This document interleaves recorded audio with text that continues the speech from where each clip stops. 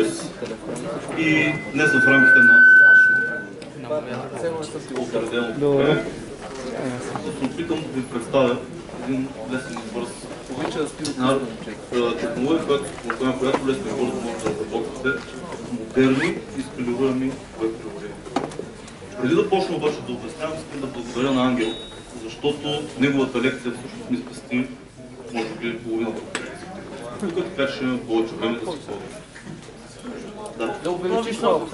Какво направя? Да увеличиш звука. Не се чува. Взема. Така чува ли се? Добре. Някой разбира ли от ниски високи? Знам, че трябва да увеличи от това. Е така. Завъртете колата и ще стане. Да. Трябва да е силно да се чува. Сега чува ли се? Давай бе, Така. Python. За тези от вас, които не са чували, за кратко ще обясним какво е това. Python е един елегантен и много прост език за програмиране, който обаче зад това миличко лице стои едно доста мощна, мощен инструмент за решаване на много голям брой задачи. Въпреки, че е разработен или създаден преди 23 години, Python от доста време има и се ползват много стабилно, доста такива концепции, които в а, големите езици се те първа навлизат и се считат за много големи иновации. Примерно ламда функции, comprehension, генератори и така нататък. Тези неща ги има от доста време, не само в Python, но Python е един от езиците, които първи започват да внедряват тези неща. И причината за това да, да напоследък да придобие толкова голяма популярност, не само в големите компании, ами и сред хора, които се занимават с анализ на много големи данни, или пък астрономи, или биолози, или въобще хора, които даже не са програмисти, е точно защото самия език е много прост. Той не ни задължава да знаем една комар неща, за да можем да се свършим работа. Както може да се усетите, той работи на всяка операционна система от модерните и затова това е нещо, нали, което го приобщава към така наречените скриптови езици. Сега, защо Python? Това, което виждате, е извадка от идеологията, на база на която е бил създаден езика преди 23 години. Целта на човек, който го е създал този език е да има нещо, което, кода, който бъде написан, да бъде ясен и четим и да няма почти никакъв начин да напишем някаква щуротия. Той е искал да създаде език, който а, чете лесно, почти като английски. И за това а, тази идеология е много, много здраво залегнала не само в самия език, а в много неща, които се ползват, включително и в Django, както ще обясня след малко, включително и в по-голямата част от библиотеките, които са записани за Python. Първото нещо, което хората се сблъскват, ама къде са ми скобите? Това е първото нещо. Че в Python съвсем преднамерено тези скоби няма. И защо ги няма? Защото контрола върху кода се контролира с отместване, с индент и с whitespace. И това е първото, да, колкото хора съм започвал да обяснявам бе, тук сега ще покажа нещо, това е първото нещо, което, къде са ми скобите? Чакай сега, защо са тия скоби? Ами защото как ще разбера, че не знам с код? Викам, добре, ти като гледаш някакъв код, скобите ли гледаш или гледаш подредбата? Ама подредбата гледам. Ами, добре, за какво сте скобите тогава? Абе, трябва ми скобите, не може да се. И в този момент разговора приключва, казваме си на здраве и продължаваме. Това е, това е положението, трябва на хората им трябва скоби. Другото нещо, което ще обясня, защото просто няма време да обясня всички, но другото нещо, което на мен лично много ми харесва, това са именованите параметри. Значи представете си в 90, да не кажа процента от езиците за програмиране, имаме нещо такова, някаква функция, която приема 5-6-7 параметра. Send mail. Айде сега като я гледаме е така функцията,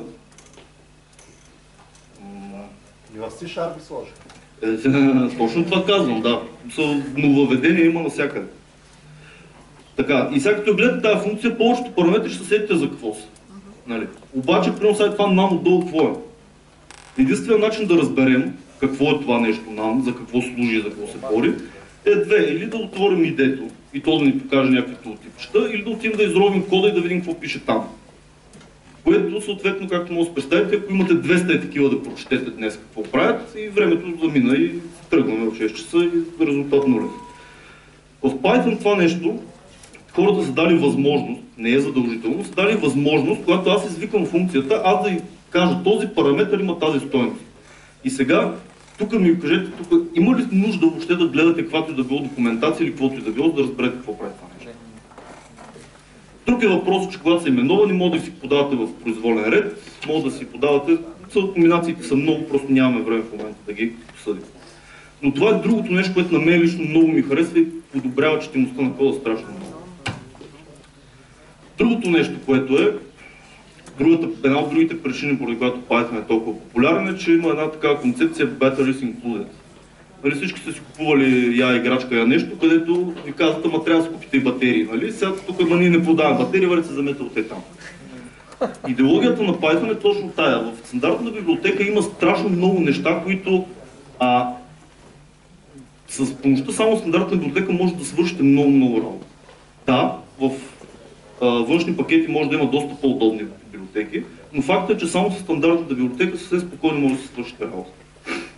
И когато стандартната библиотека не ви върши работа, в репозиторито на Python има над 25 000 пакета, които са активни и се разработват постоянно. И моят опит, който е вече може би 6 или 7 години с това нещо, е, че доста голяма част от тях са много качествено написани. И пак причината се връщаме в това, кой го ползва този Python. Python го ползват и хора, които не са програмисти. Значи, представете си един биолог да му издумка един exception, да е бррр, нали? Какво правим? Нищо.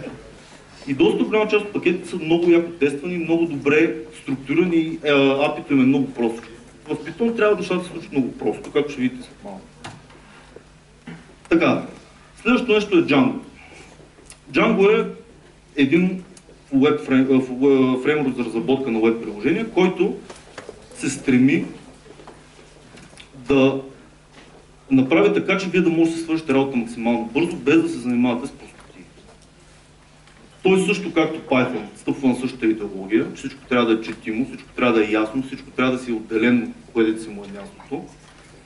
Нещата трябва да са модулни, сега ще разберете точно какво имам предвид. И по същия начин имаме Batteries Included. И сега тук има един проблем с това нещо с Batteries Included, че много неща има такива, които са на този принцип, обаче те са много монолитни. В смисъл, те ви казват, ами тук имаме всичко, обаче ще ползвате само това. Примерно, с този лорен иначе не може, с този там какво беше нещо друго, иначе не може и то темплейт и това е положението. Напоследък вече дали ситуацията не е такава, но преди няколко години беше точно такава това, което аз съм виждал. Сега не мога да кажа, че съм видял всичко, но така беше. Докато при Django нещата са точно обратното. Значи всеки един компонент от този фреймворк или всяка една, защото след малко ще говорим доста за конвенции. Това по принцип слага там, това по принцип слага там. Всяка една конвенция и всяка една, а, един компонент от самия фреймворк ви мога да замените с каквото искате. Без това да начупи останалата част от приложението. По никакъв начин. Едното нещо, което е най-значително, това е доста смислен ORM. Сега като всеки ORM си има душевни проблеми, обаче като цяло много, чест, много голяма част от случаите прави това, което се очаква от него.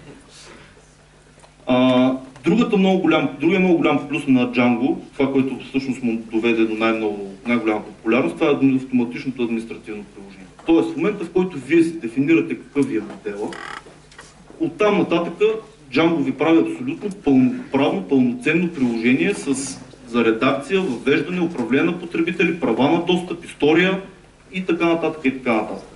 Отскоро, скоро, скоро, няколко години стана, Значи другите фреймворци започнаха да го правят това нещо, но първият, който го направи така в цялост пълнота, беше именно Django. И съответно има разни други штуки, които са стандартни навсякъде, темплейти, форми автентикация и така нататък.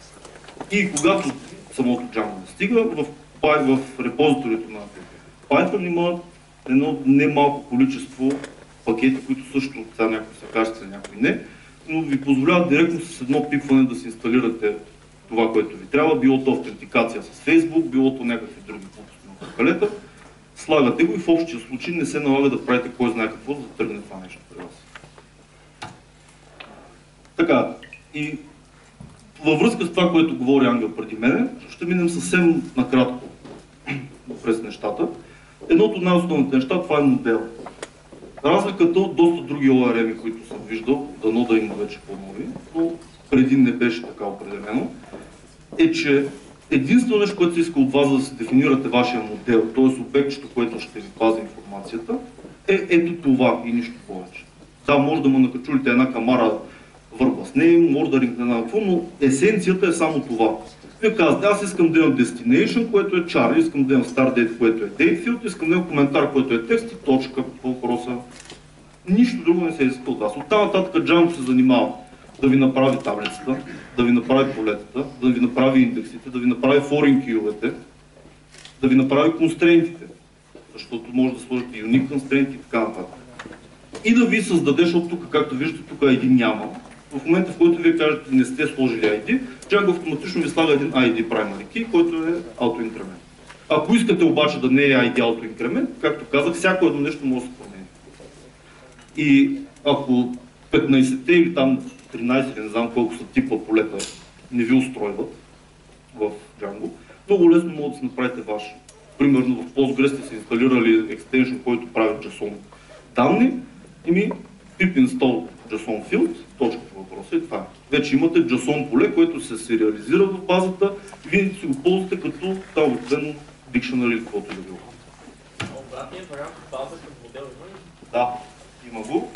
Като единственият проблем с това нещо, дето някой му вика база, наречено Oracle, нали, там понеже, нали, там не работи толкова добре, но за всички останали работи и то доста.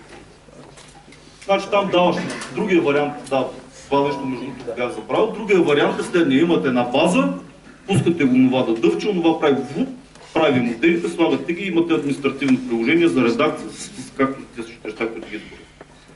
Да, за някои бази трябва да побутате малко, за някои бази трябва да се почещате отзад да видите какво става, но в общи линии това нещо тръгва от раз, което по-вдре, примерно или майско.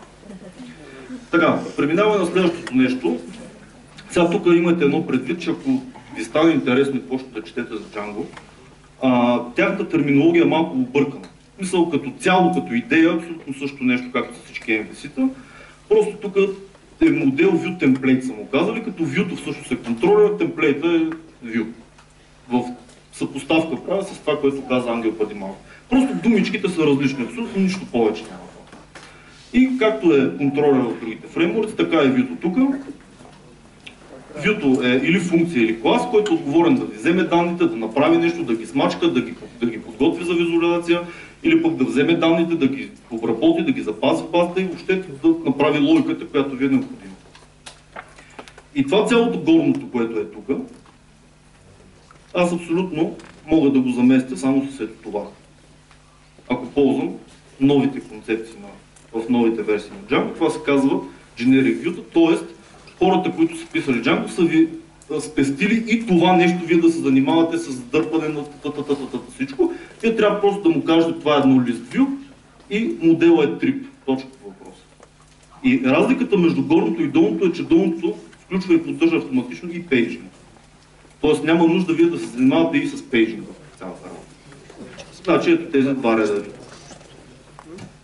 Така, и последното нещо, което то е най-тривиално, най-елементарно темплейтите, както всеки темплейтен език, има си там някакви табове, някакви команди, въртят се for цикли, ивчета и това е положението. Имаме някакъв аут. Нищо нестандартно.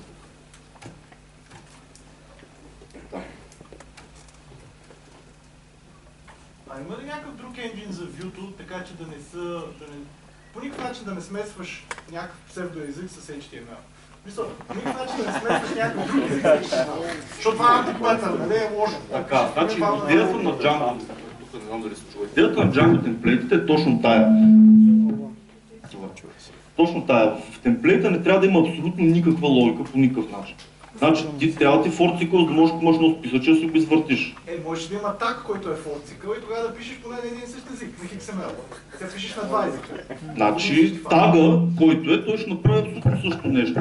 Отзад ще изпълни някакъв код, който ще почне да върти някакви цикли и в крайна сметка ти ще пишеш на едно и също нещо, обаче отзад се случват някакви тотално различни неща. Нали така? Не, идеята е да има, да има смениш Vue Engine, така да го кажа. Тоест да не ползваш този такси, да, темплейт engine. Така, значи повтарям пак, можеш да промениш абсолютно всичко. Значи в има Django се ползва съвсем спокойно с около 3 вида или 4 вида съвсем различни темплейтни енджини. Има един, който е доста по-бърз, защото Django темплейтите, често казвам, са малко бавнички. Нали, Много са мощни, са малко бавнички, но имаш примерно избор от 4-5, които са около 10 пъти по-бързи. Тях може съвсем спокойно кажеш, шляп, не вижда тия, давай тия. Ако искаш си вземаш някакъв темплет език, който пишеш на това, действаш. Абсолютно няма никакъв проблем. Така, и какво още ни дава за тези неща? Това микрофон няма го повече. Така, за тия неща, както може след няма да има никакво време, просто искам да ги погледнете така нахвърляни. Значи Django, освен тези неща, той ви дава една кон- конвенция за структуриране на проекти. Значи това, което днес ще направим, ще бъде много простичко, защото в 40 минути няма какво да направим. Обаче, когато проектът стане огромен, вече тези конвенции за структуриране на проекта имат доста голямо значение. Django има доста мощни механизми това нещо да не става манж с гроз. Отделно имаме интернационализация, поддръжка вътре, имаме актуализиране на базата данни. Тоест, примерно имате си един модел, направили сте си база, работите си в един момент пристига някой, да речем шефа и казва, бе, тук ми трябват още 5 полета. Какъв е стандартният вариант в повечето а, неща? Ми почваме да пишем не SQL, Alter Table, не знам какво, не знам що. Пак казвам, може да има някакви нови неща в новите фреймворци, не съм запознат, но преди беше абсолютно така. Пишеме ни Alter или SQL, па те се пускат, па не знам какво. Тук просто си променяте поленцата, казвате на Django действа и той прави едно нещо, което се казва миграция, пуска го към базата и това се версионира. И оттам нататък вече, когато аз се дръпна новия код, пускам това нещо, моята база също се актуализира. Отива на production, също се актуализира. И страшно много неща има допълнителни. GIS има, debug е доста, доста такъв generic view, които ще ползваме след малко. Въобще всякакви такива неща.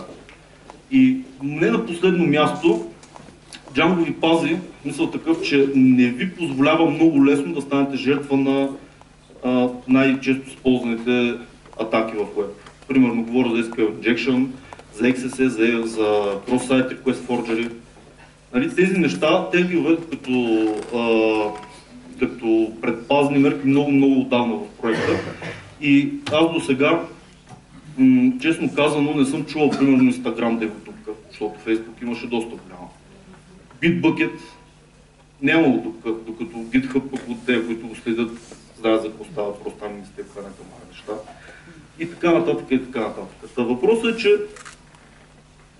Django не е толкова не, той не е толкова популярен, колкото примерно другите много големи фреймворци. То не е по друга причина, ами просто защото не е нещо, за което сте примерно някаква много голяма компания. Това е, може би, една от основните причини, поне за мен. Сега аз, естествено, съм много пристрастен и моето мнение нали, не е много релевантно, но като цяло нали, това, е, това е списъка с един кратък списък хора, които го ползват. Така, има ли заспали? Няма да заспали. Да, Какъв минуса на Django? В смисъл, Прямо не език, прямо е Python. Значи, на Python, значи, когато се прави презентация на нещо, че тия по-гадните неща се замитат е така под чержето, да не се вижда. Нали? Така. Значи, зависи, отговорът е такъв, зависи на коя версия пишеш. Ако пишеш на 3, единственият проблем, който поне аз съм видял за момента, е, че не е толкова бърз, примерно, колкото Java. Факт е, Java, понеже блъскат милиони индийци, китайци и всякакви хора, там се инвестира милиарди долари в оптимизация. Тук не е точно такъв случай. Нали, обикновено това не ти е ботълнек, но като цяло това е един от минусите. Ако ползваш Python 2 обаче, там има едни леки проблеми, защото там примерно има две неща, които не могат да работят, едното са импорти, другото са стрингове. Колкото смешно да звучи. Не, базика, базика на страна, смисъл, а, просто трябва много да се внимава, защото когато е правен 2, той е било преди 5 10 години поне. И тогава много, много Unicode нямаше. И тогава, когато се работи с Unicode, трябва да се внимава малко повече. Просто. Това е цялата работа. С импортите е същата работа, просто трябва да се внимава малко, защото има доста често се получава в импорт. Не доста често, за големи проекти. говоря. Значи аз говоря за проект, който е примерно 100 000 лева, че повече. А често ли се налага, са има ли проекти, които са на тази версия, която е преди 10 години? Често ли се налага да пишем на тази версия или... Значи в момента, не, значи тя версията, която се ползва в момента от студентите, е 2.7 нещо. Тя се актуализира постоянно. Докато новата версия, която е 3, там са оправени страшно много неща и много по-приятно се пише на нея, но проблема е, че има много огромно количество, огромно количество код, има, което е написано на две седми. Имиграцията не е толкова проста, точно защото много хора трябва да се мръзнат. Ами той с PHP беше така, ама с хората се апдейтнаха. и Ами, сега не мога да, не знам къде има повече код и къде няма, не мога да казвам защо, но факта е, че пред Python нещата не се мърдат толкова. Няма как, защото повечето неща са бекенди някакви, не знам, в смисъл наистина не е много е версия на четвърта за момента. Последната на 3. Ако ще се почва нещо на чисто, е най-добре да се почне на тройка. Значи, Python езика е много готин е много як за обучение. Всъщност това е първият език, който измества Java в Америка за компютър сайенс. И то точно за това, защото е просто. рънтайма има проблеми, защото няма голяма компания. Нали? Ruby рънтайма също е подигравка. PHP рънтайма по дефалт е нали? смях. PHP е има Facebook. Да, има някакъв Facebook, където е написал Вече, бърз вече. рънтайм. Но .NET и Java не за това са бързи, защото има много големи компании и много бърз рънтайм. Но езика е готин. Нали? Едното е рънтайм проблем, което е... Да, начинаеш доста як. И не е само за начинаещи, аз примерно искам да ми е просто. Значи, примерно, сега като започнем да правим демонстрационното приложение, уния всичките неща, които бяха в Visual C, които там 20-30 реда код, цялото ни приложение ще бъде 20 Не е само единия контролер, който показва една страничка, която нищо не прави. Цялото приложение е 20 реда. Така. Да направим. Ами, да. Всъщност да. Да, бе, че ще има и обяд и няма да стане време. Няма да остане време. Така. Сега, какво искаме да направим? Тая година на мен се събра много пътувания. Обаче в днешния модерен свят, ако не си се похвалил, все едно нищо не си направим. Да. Има някои хора, са алергични към това нещо. Така че, какво да правим, трябва да си направим наше. Това, което ще почнем, е абсолютно чисто абсолютно чиста директория. Тези неща, които ги виждате тук, това е едно нещо, което се казва Virtual Environment. Идеята е, използва се доста често, не доста често, винаги, за да може, ако имате няколко проекта на компютъра, които под различни библиотеки версии, да не става мазваница. Нали, DLL Hell и всякакви такива нали, да не се случват. Затова аз съм си изолирал това нещо в тази директория и и нямам, в смисъл, нямам реакция с нищо външно. Така, на чиста директория, първо нещо, какво трябва да направим, да инсталирам Django. Как се инсталирам и така. Инстал. Сега, какво е PIP? PIP е най-често използвания менеджер за пакети на Python. А, в общи линии, за да си инсталирате пакет, всичко, трябва да направите е това. PIP install еди какво. И стоите и чакате. Така, като се инсталира Django, той слага в тази виртуална среда един тул, с който ние можем да се започнем да работим с него, да генерираме неща. Тоест, бутончето там New Project в Visual Studio, което видяхте преди малко, тук не е бутонче, ами е така. Start Project. И аз мисля да си кръстя проекта е така, Deходик. Така, и да видим сега какво сме генерирали. Така, това, което виждате тук, са ето тия четири файла. Това е абсолютният минимум, който ни е необходим, за да може да запали Django. Основният файл, който е тук, това е settings.py. Settings.py е един обикновен питонски файл, който има настройките, които са необходими за да работи. За да работи фреймворк. Тези неща не са толкова чак толкова задължителни. Това, което е най-важно, което най-много ни касае в момента, това е базата. По, по дефолт, по подразбиране, Django инсталира SQLite. За тези вас, които не знаят, че кажа с една дума, SQLite е база данни, която работи само с файл. Не ни трябват сървъри, не ни трябват юзери, не ни трябват нищо, не трябва, трябва един файл. И причината това нещо да е по дефолт, защото хората от Django са казали така, ние искаме да почнете да се чувъркате максимално бързо, не да се занимавате с глупости. Те ви казват, тук е, почвате да си работите. Това е положението. Ако ви трябва в момента, в който тръгне да ви трябва малко по-голяма база, е тук пишем PG, Psycho PG2, това, което е драйвера за Postgre и нещата отлепят с Postgre. С всичко. Нищо не пипаме по положението. Така, тук какво може да променим още? Е това нещо не сме в щатите. Ще го направим на български. Какво друго можем да оправим? Е това тук може да го спрем. Но в общи няма какво да пипаме. Проверил съм само и го сложих на български. Това е цялата работа, която направих, защото сме в България. Така, второто нещо, което е сравнително важно, не чак толкова важно колкото сетингите, това е един файл, който се казва URLs, който реално представлява конфигурацията на това нещо, което Ангел преди малко обясни, рутер. Тоест, на кой URL какво трябва да отговори. И, то. и тук с думи прости описваме аджаба какво се случва.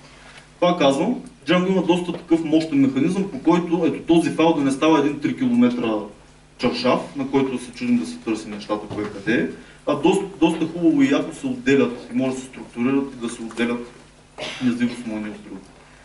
Така, и тук виждаме админ. Тоест, Django е също така е активирал по подразбиране и административното приложение. Нищо, че нямаме никакви модели, още нищо. Така, и за да започнем да работим, минаваме през тук, казваме migrate, той създава някакви негови таблици и стартираме Development Server. Това е положение. Няма друго. И той какво ни казва? По Development Server нещо, което ви сервира приложението, когато го разработвате, следи като промените файлче, това прелодва цялото нещо, за да не спирате или пускате сервер качанта ви. В общини стандартни неща. Хващаме това нещо и казваме, окей, аз ще си го отворя да видя какво се случва. Хоп, познатата, от... не позната, тя на мен е позната всъщност, страничка, която казва, да, това нещо всичко е наред. Мисъл, фреймворк работи, имаш си база, имаш всичко, всичко ти е наред, ама нищо не си направил още. Давай. И той казва така, ето, of course you haven't actually done any work yet. Много правилно. И сега, за да искаш да направиш нещо, ми направи ето така. Аз не искам да правя така, ще го направя ръчно-крачно, защото да видим какво се случва. В Django има още едно сбъркано име, освен модел, темплейт, там какво беше. Това е понятието application. Application в Django не е нищо друго, просто един модул или компонент, или както искате да наречете, просто тяхната терминология е такава. Така е останала от едно време, така се стои.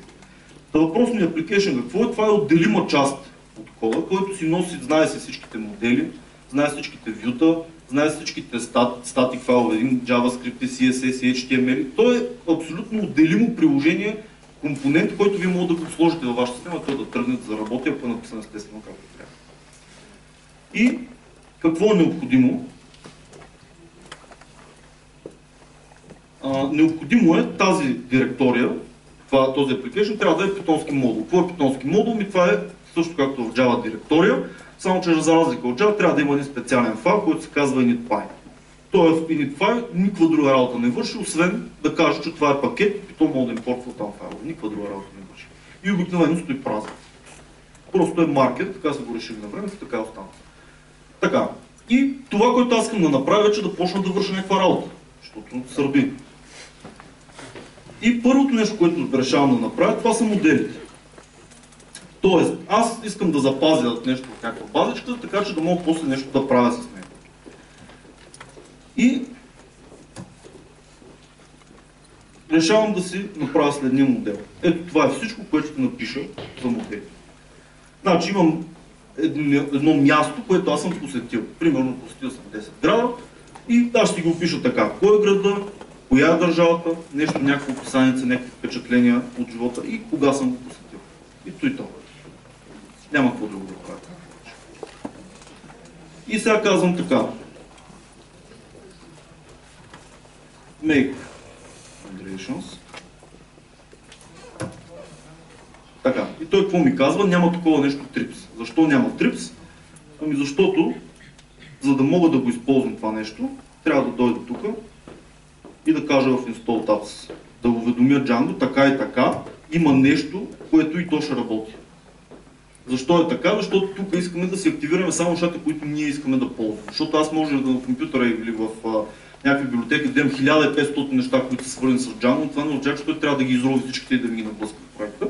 Аз си определям точно какво искам. Примерно в момента аз може да не искам меседжи, които са на Django, ще ги скоментирам, те няма да се зарежат. По този начин много добре мога да контролирам моят проект, какво работи и какво не работи, кое ми трябва и кое не ми трябва. Така. И пускаме го на ново той казва, аха, направихме една миграция, която е празна и създадохме един модел Place. Какво е миграция? Ми, миграция е нищо, нищо повече от едни инструкции, какво трябва да направим, за да се направим тези таблици в база. Ще го покажа само набързо, защото нямаме безкрайно много време. Но това са някакви операции, той по някакъв начин се записва, че трябва да създаде една такава таблица с е такива полета. Той то. Абсолютно. Аз нищо не правя. Това, което направих, беше само му казах действай. Нали? Написах това действай. Така. И сега в момента искам да си го пусна това нещо. А, така. се- Отваряме си приложението, нищо не се е променило. Щом, защото нямаме нищо. Не сме писали нищо общо. Само направихме една табличка в базата. Обаче, аз преди малко видях, че имаше някакъв админ там. И ако трябва да го пробвам този админ, ще видя, а, тук нещо почна да се случва. То се беше случило и преди, просто не върши работа. Обаче с какво се логнем? Аз до сега никой не ме е питал за юзър, за парола, такива неща няма. За да си направя един такъв юзър, супер юзър, супер юзър, айде, админ,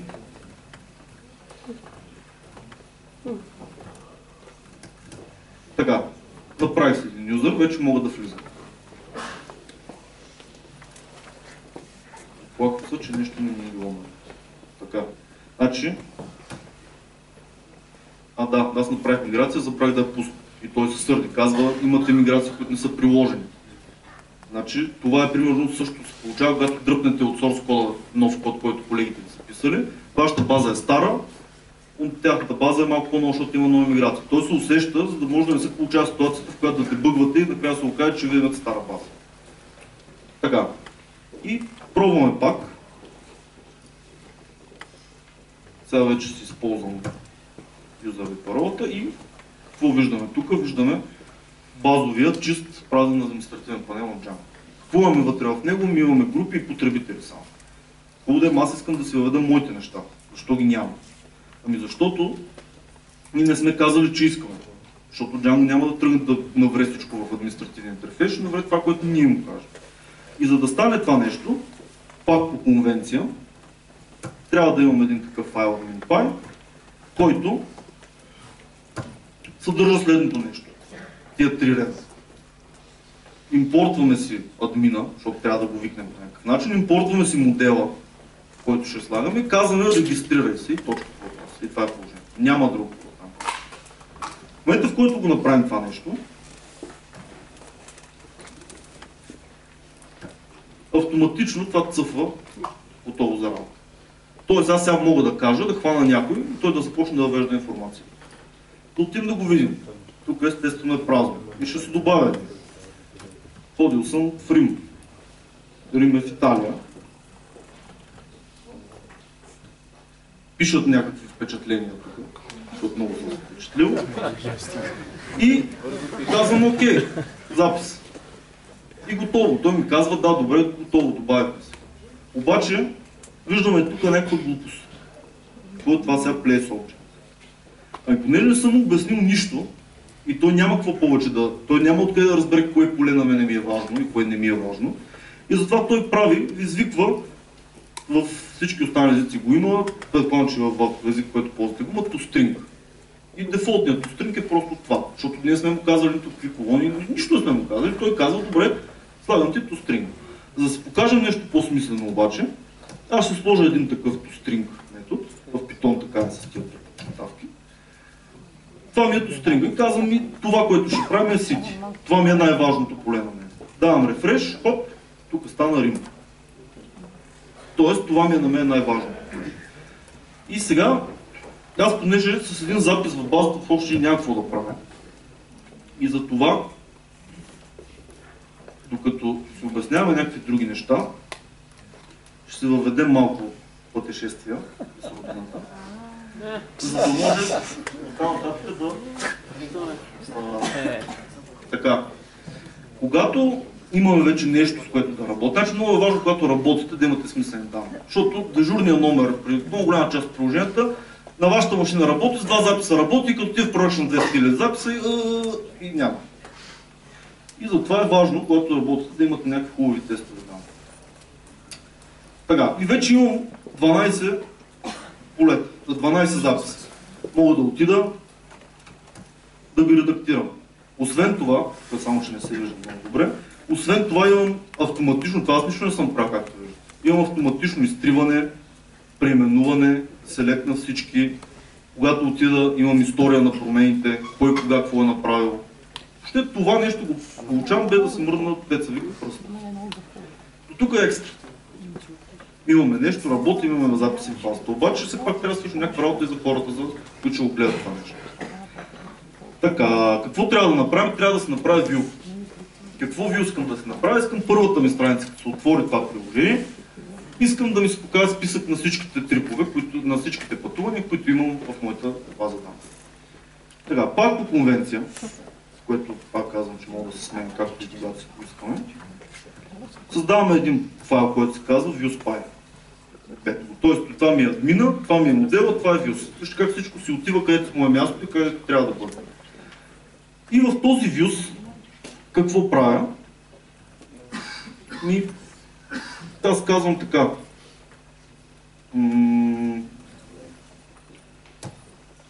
Това е цялото view, което аз трябва да напиша.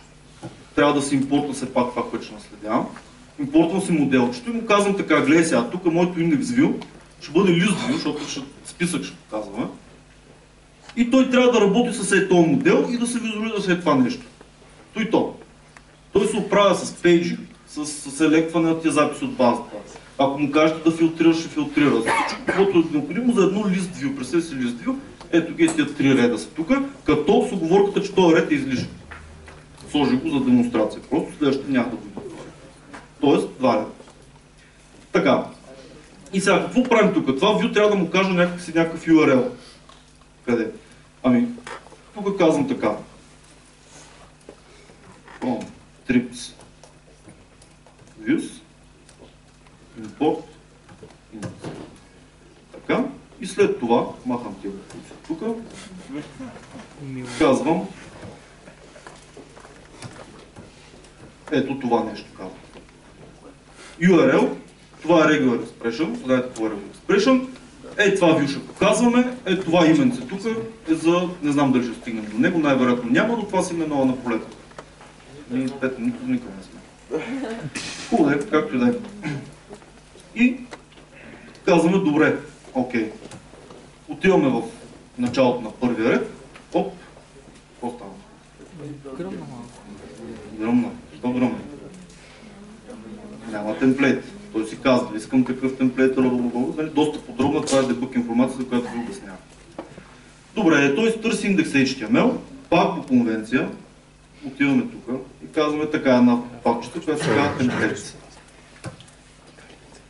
И в нея създаваме едно файлче, което се казва индекс. Така. И създаваме един чист прост празен HTML. Който сега ще пробваме да го покажем пак. Така. Оп, ейде. Хубаво да е, обаче тук няма нищо. То няма нищо, защото никой нищо не е показал. Това е просто един HTML. Затова ще се добавим как се показват местата. Ми това е много подобно на това, което видяхме в слайдовете. Имаме едно нещо, което да.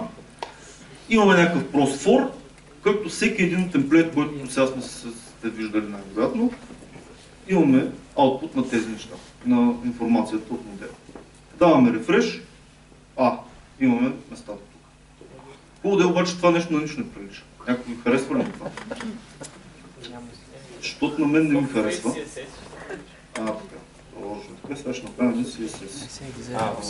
Така. Така.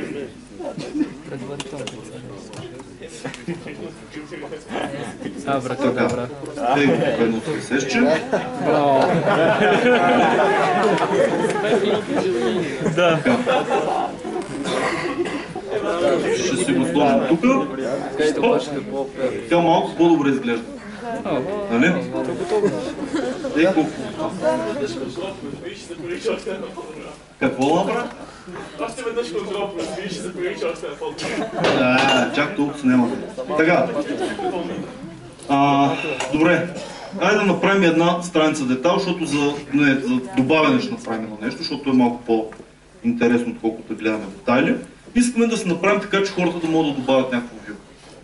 Ами какво трябва да направим тук? Отиваме си в Vue. Най-вероятно, що има лист View, ще има и Create View. Нали така? Така. И Create. Еми е, това е всичко, което трябва да напиша, за да мога да създавам таблица. Значи казвам, модела ми е Place и като добавиш нещо, ходи в началната страница. Защото той, принципно, този ред също е излишен. Просто съм го оставил, за да мога да обясня за какво става въпрос. Така. И това, както може да се сетите, също трябва да го сложим да му обясним. Тук. За целите на демонстрацията всички ги блъскаме в момента в, в това нещо, в основния URL Принципно не се прави така, както усетите. Сложихме го тук. И ще отидем в темплейтчето да си сложим един линк в един ново място.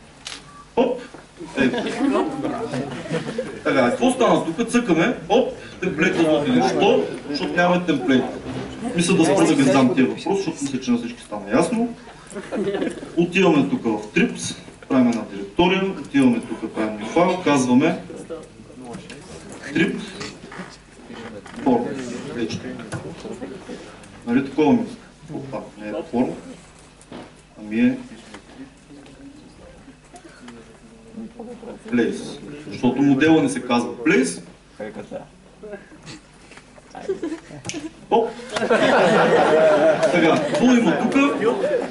Ами, това, което е интересно, всъщност е това нещо форма. Той то. Значи какво е направил този Create View? Ми този Create View си е видял какъв е модел. Видял какви полета има, какви са му ограниченията за това. Max Length, Mid Length, там всякакви глупости. Направил си е форма. Формата е нещо, което обработва входни данни, няма време да обясняваме, но направил се тази форма, дал я на темплейта, който аз не съм му казал какъв е темплейт, той си го е избрал по конвенция и аз единствено, което трябва да направя, се намърдаме така. Ето и то. И какво се случва? Давам F5, оп, имам форма. Така, какво забелязваме тук, освен че има някаква форма? Ами забелязваме, че тук той се е сетил да направи даже именцата на поленцата културно. Мисъл, това е главна буква, date visited, ако си спомняте в модела без подчертавка, тук е с интервал, както трябва. Тоест, го дал го във вид, в който човека, клиента, няма да гледа и да вика, бе каква та простотиец ми е. Да. Така, и пиша си тук един Юнхен, който е от Германия.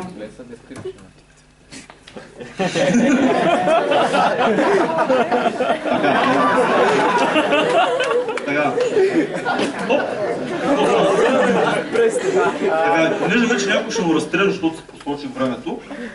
А, в заключение, това, което искам да кажа, тук не можахме да се вместим във времето, но какво направихме за тия хикс минути? Еми направихме едно работещо веб приложение от нищото. От нищото, без да си мърдаме пръста, кода, който беше на Python, е точно 24 реда. Сега, естествено, нали имаше CSS, съм си подготвил, HTML, ще съм си го подготвил, описанието съм си подготвил, ама въпросът е, че самия код, който ние от нас се очаква като промис да го направим, е точно 24 реда. По-малко, отколкото е темплейтния файл на Visual Studio, като кажете New. Нашето цялото приложение е толкова. Така. И последното нещо, което е, при тия ситуации има една много хубава такава реплика. Хубаво да е те тия неща на, тук на демонстрация, всичките работят много лесно и всичко е много готино и като се натресеш, нали, става проблем. Нали така? Защото не малко първо мисля. И не малко хора са блъскали, с това аз лично са блъскали. И обаче, за щастие, тук е Михаела, която ще ви разкаже как това нещо, тази технология, е решила в някакво доста кратко време един доста наболял проблем. Заповядай. Браво.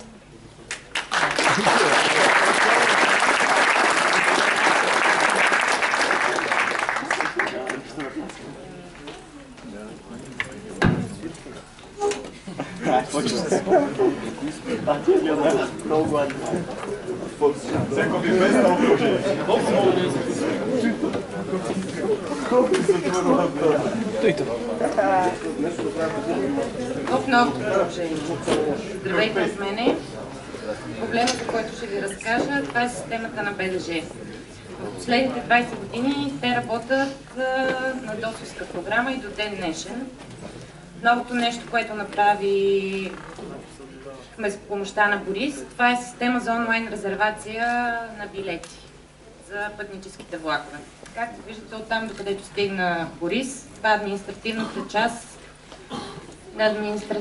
Това е административната част на административната част на приложението. Приложението като цяло системата е разделена на три. Имаме потребителска част, административна част и база данни. В случая не използваме SQLite, а използваме Postgre, тъй като ни е необходимо малко повече пространство като цяло. А, абсолютно самостоятелни са приложенията, които може да намерите на адрес bdg.transportinfo.bg като потребители. А лично ще ви покажа какво възнамеряваме да направим в следващите няколко години като цяло. Това е картинката, която се планира да бъде направена от нас с помощта на Борис и БДЖ. Това.